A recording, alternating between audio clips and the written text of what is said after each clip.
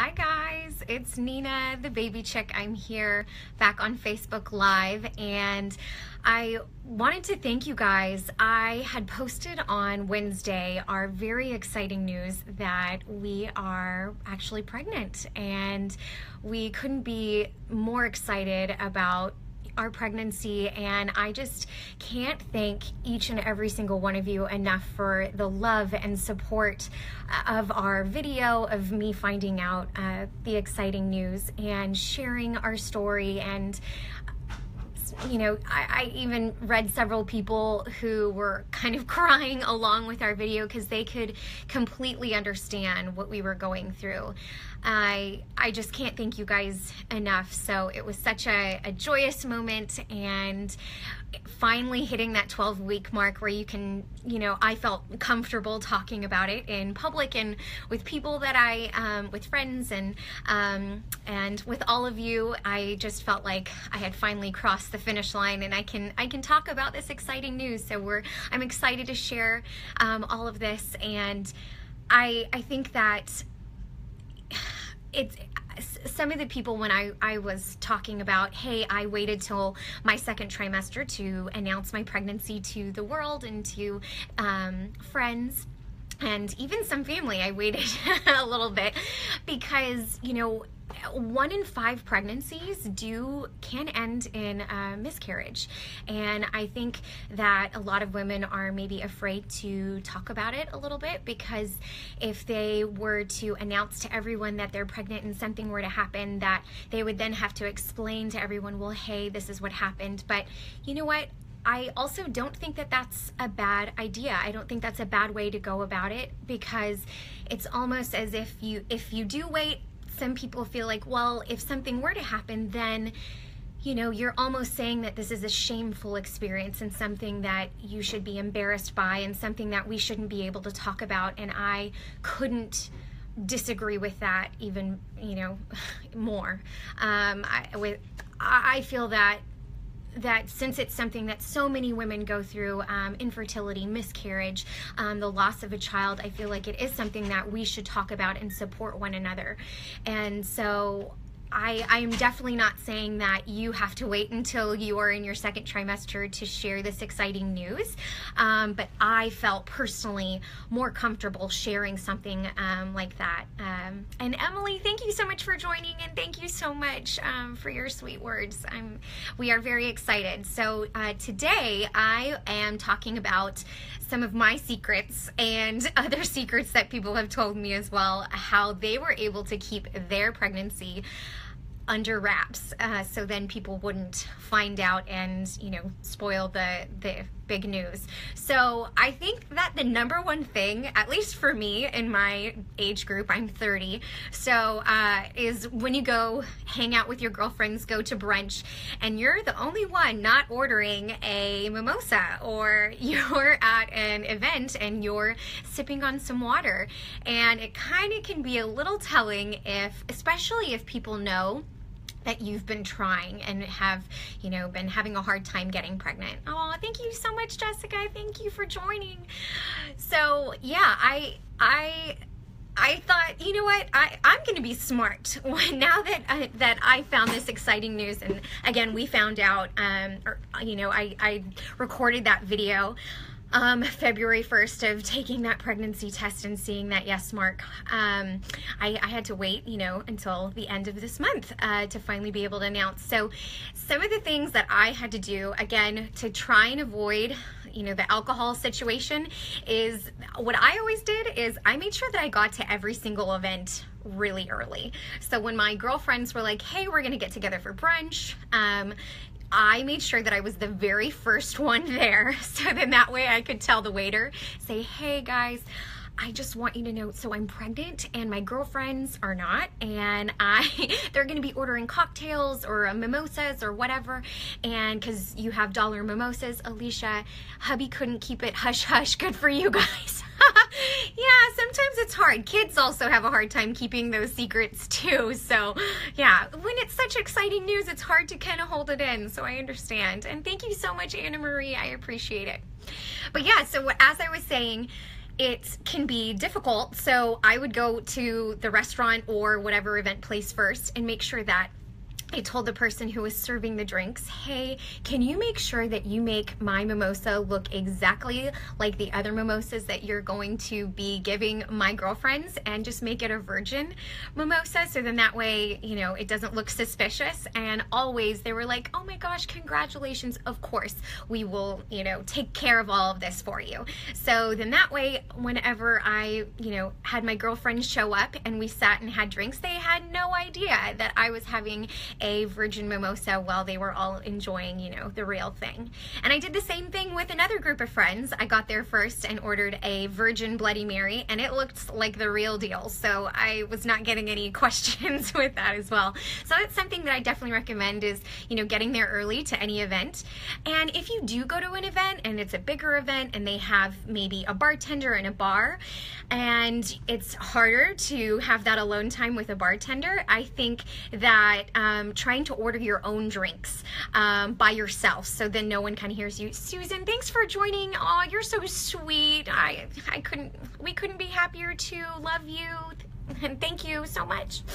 Um, so yeah, so whenever, uh, if there was like an event to go to, I think going by yourself to the bartender and saying like, hey, can you get me a Sprite with like a lime or a lemon or something, and then it'll look like you have, you know, a a vodka soda or you know even if you get um, tonic water uh, whatever it is um, it, it, looks like a, a fancy a fancy cocktail. And no one's going to be questioning you. I do recommend though drink it slowly like you would an actual cocktail because if you're chugging all of these sprites or you know sparkling waters or tonic waters people are going to be like wow this girl you know she can she can keep her liquor down. So um, kind of slow it down with the drinking.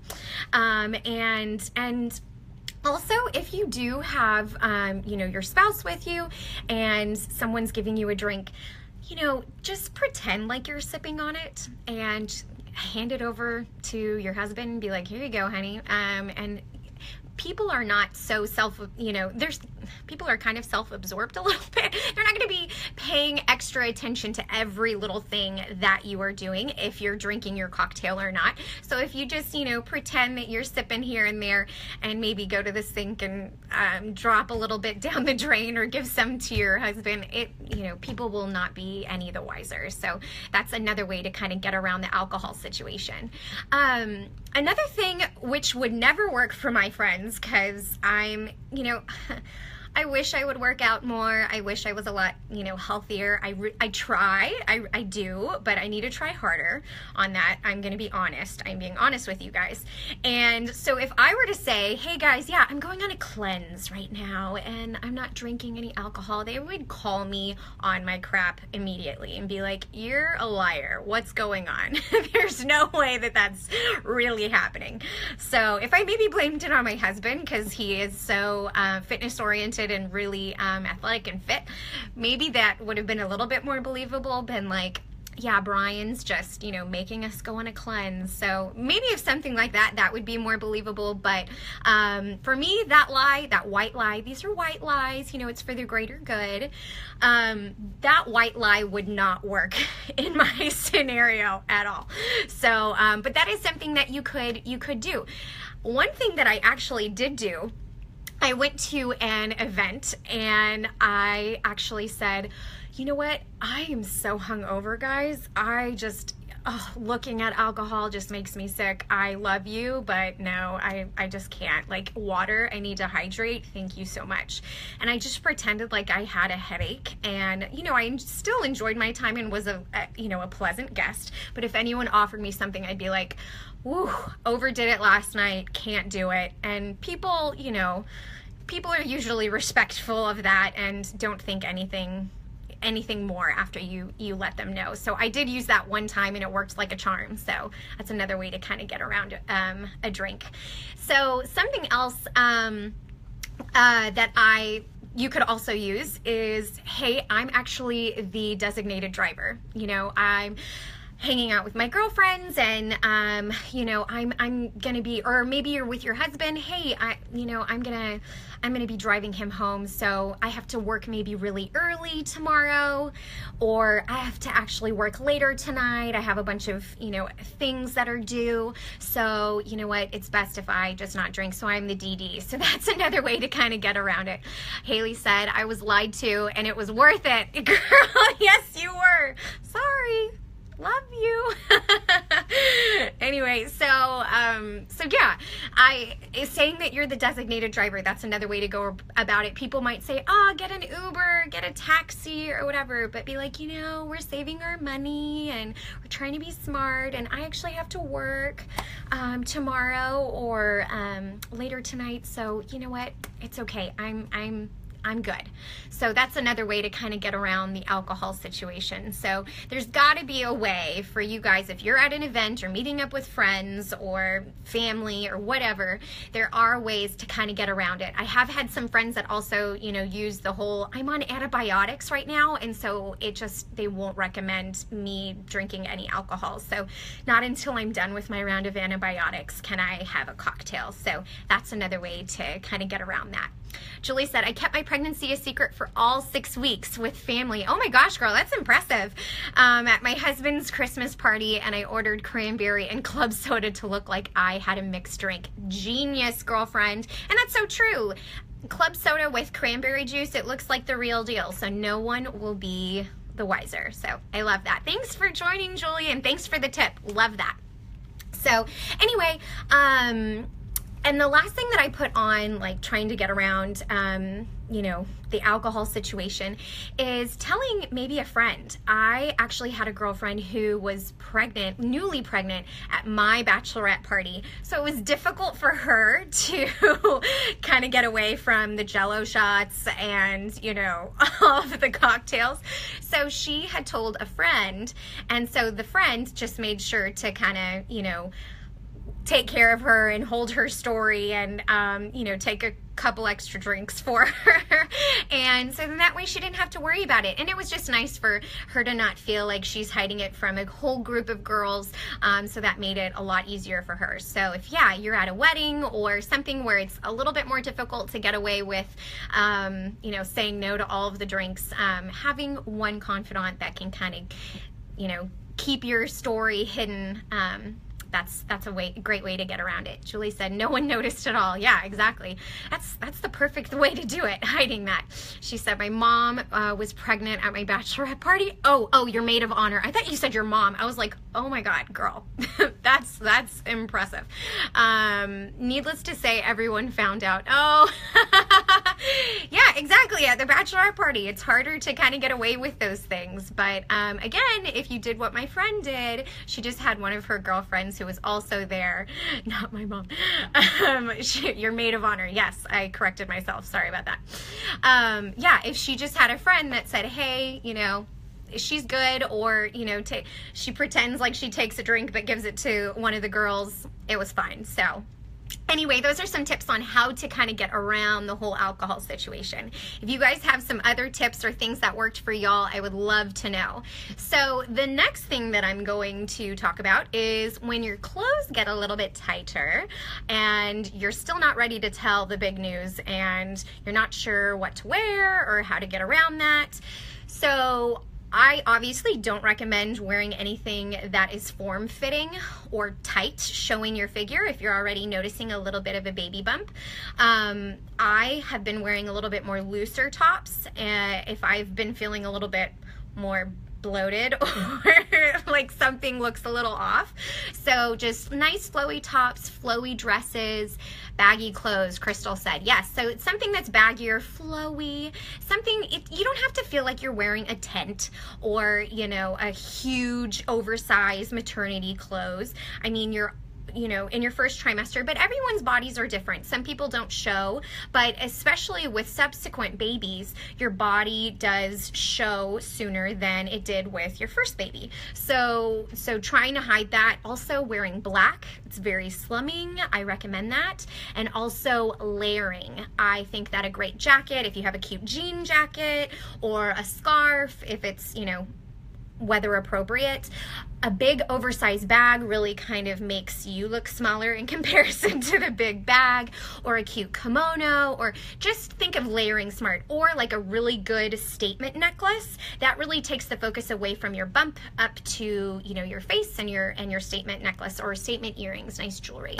Julie said I wore a lot of empire waist things. Yes, that's so right. Uh, making it cinch right at your waist and then it flows out, so then nothing is clinging to your midsection and showing, hey, there's a little there's a little baby in here. So um, those were some of the things um, that I was doing. Also, there's this great tip that if you have tighter jeans, so I was actually having this problem with some of my jeans, not all of them, but some of them um, where I was thinner, they were able, I was able to get them on and zip them up, but I wasn't able to button them. So what I did is I got one of my hair ties and I put it through the belt loop and made it tie. So I'm gonna try and show you guys here. Um, so I don't know if I can get this to work sorry that you're looking like at my crotch, but here's my button and belt loop. So what you do with this is you stick this through, stick this around your belt loop, and then you can stick this right through. And then it gives you a lot more space to grow without having to buy new new pants, maternity pants, or be obvious that, you know, you had to get something brand new sorry, like I said, you had to kind of awkward angle. But I wanted to show what also helps me so then I could still wear some of my cute things without feeling completely out of it. I did the hair tie all the time. Brandy, yes. This pump for sure. Hi from Arkansas. I didn't find out until I was like 12 weeks. Oh, that is so nice. You didn't have any nausea or any of that, girl, I'm super jealous. Um, and Kara said everyone knew by the time I was 10 weeks. Apparently, for your third pregnancy, you show. That's so true. Like I said, subsequent babies, you know, you show a lot faster. And Julie said I did the hair tie trick forever, so I didn't have to put away my favorite jeans. Now I'm 20 weeks uh, with number two, and that is not an option anymore again, yeah, second, third, fourth babies, you know, you grow a little bit more. So that's completely normal. You're not the only ones. But yeah, the hair tie trick is great. If you haven't heard of it, I just showed you, rewatch this video. So I did that a couple of times on some of my cute, cute pants and I wanted to wear them. So that's another way to kind of get around, um, you know, showing your bump. So the other thing I was saying is um, one of our viewers were saying, oh, my husband kind of told the news. Um, I don't recommend telling children. Um, oh, Chelsea said currently doing the hair tie trick, two months postpartum. Girl, you're that's that's awesome that two months postpartum, you're already putting your pre-pregnancy um, clothes back on. I know some mamas that, you know, cling on to that stuff for, for a while. So way to go. That's awesome. I'm probably going to be doing the same thing for a lot longer. So after I have this little baby. But awesome. Thanks for joining, Chelsea. Um, so yeah, so I was saying with children, if you have a talkative child and they are at the age where they're old enough, obviously, to talk, but young enough to not really understand the concept of a secret, I don't recommend telling them the exciting news that they are going to be a big brother or a big sister because they are probably going to be sharing that news with all of their little friends and then their friends tell their mommies and their little, you know, teachers, all of that. So if if you want it to kind of stay under wraps, I do recommend waiting until you are ready to announce the news with your little one, or at least tell them, you know, maybe a few days before. Do something special with them, um, so then they feel like they're in on the secret. But then if it's if it's out, then oh well, it's you're about to announce it anyway. Melissa said my husband told the news the first time I told him. I won't tell him next time. Melissa, hey, you're not the only one. So you know there are plenty of other people who have said the same thing. So, um, but yeah, probably the smart thing if you're wanting to, to kind of keep under wraps. So, another thing, obviously, I mean, just lay low during your pregnancy. If you are tired, which that's what I was feeling. My first trimester, I was nauseous, I was tired, I was winded, I was moody, sorry. And for certain things, I just said, you know what, I can't go to that. I'm not feeling well, and you know, you're not lying. You're you're being you're being truthful. Don't feel like you have to do everything that you were doing before. It's okay to lay low because you are taking care of you and you're taking care of your babies. So don't feel pressured to to go to every single thing that you've been going to before. Like if you and your friend do a daily run or something, you know, say like, hey, I've just come down with the flu or I just haven't been feeling well lately. Um, I, I just, I think I really need to rest and, and take care of me right now people will understand. Um, again, those kind of white lies, though, um, sometimes if people know that you have been trying, they they may be guessing. And I actually had some people who flat out asked me, "Are you pregnant?" And I said, "Nope, no." Because I just I wasn't ready to talk about it yet and I did feel a little bit guilty but you know what? I think that now that they know they probably understand and you know it's you can share that news when you feel it's ready whether when you feel you're ready. Whether that is when you immediately found out and you want to tell everybody great. Um, but if you want to wait a little bit you know that's okay too. You shouldn't feel pressured to share the news, you know, too soon or too late. It's it's when you feel is best for you and your family and your baby. So there really is no wrong answer. And I had someone actually who commented on my my pregnancy announcement video. Um, Hannah said, "Oi, the first trimester fatigue, no fun, girl. I feel ya. I've been wanting to take naps at work. Is that wrong? Is that? Oh, I mean, I haven't." But I've wanted to. So yeah. Julie said, I didn't tell anyone until after the first trimester. Trimester. I get it. Yeah. So thank you. You get it. You're right there with me. So, but again, you know, everyone, everyone's a little different. I know some people who have announced, you know, immediately after, and I completely support that decision because again, if something were to happen, I feel like that's so brave of them that maybe other people can feel strong enough to talk to them about, hey, I went through a miscarriage too. Um, I I've experienced infertility. I have a rainbow baby. I have you know all of these different things because I'm a big I'm a big believer that you know we're this sisterhood of mothers the sisterhood of motherhood is very strong and we need to be able to support each other and and you know, not everything works out exactly the way we want it to. And again, I was just so overwhelmed with all of the support that everyone was giving me because, yeah, I've, we've wanted a, a child for a while and we're very excited to now be expecting this little one. So I just wanted to make sure that I could share some of the things that you know, especially in the business that I'm in, I work with pregnant women and people who have just had babies um, every day. And we talk to brands of, of, baby brands and all of that. So it's been really difficult keeping this secret. secret. It's been probably one of the hardest secrets to keep. But, um, and some of my friends were like, oh my gosh, I can't believe you didn't tell me. But I just wasn't ready. I wasn't ready yet. So I hope that all of my loved ones um, understand that. Crystal said the hardest part is hiding it at work, especially because you're around them four days a week, nine hours a day.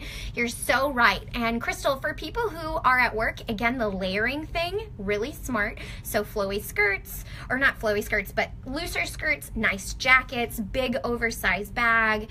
Um, a big statement necklace that'll take away from the bump wearing the color black I love wearing black, it makes me look thinner.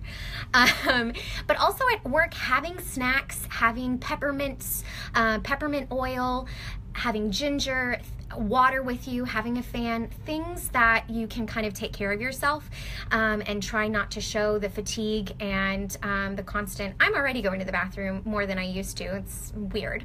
Um, but it's maybe then not as obvious. So at work, it is a little bit harder to hide that. But, you know, hopefully, you know, there are some things that you can do to also keep yourself comfortable and still keep that a secret. But anyway, guys, I just wanted to share with with you those tips. Thank you so much for joining. I'm again elated with this new um, pregnancy and sharing it with all of y'all and having all of your support. And I wanted to explain, you know, why we waited uh, to to share the good news and how we've been able to do it. So I hope this has been helping all of you guys too. So anyway, we also, if you guys are in the Houston area, I am going to be at the Houston Baby and Kids show. So it's this Sunday, and I'm actually going to be talking about the hottest uh, baby and uh, parent uh, products sorry, the hottest baby and parent products for 2017. So I have some really cool things that I'm going to be showing all of the visitors. So if you're in town, you should stop by, check it out. Um, we're going to have a booth there as well. So, um, and I'm just so honored to also be one of their speakers. So uh, very excited. Tiana said, thank you for this. Congrats. Thank you so much. And Money Bell, you're awesome, girl. Congrats. You're awesome, girl. I appreciate all of you. Thank you so much for joining. Also, I'll be doing another video on Tuesday to show a really cool product that I found out. So I don't think you're going to want to miss it. So anyway, guys, thank you so much. Hope you have a fabulous weekend and I will see you soon. Bye.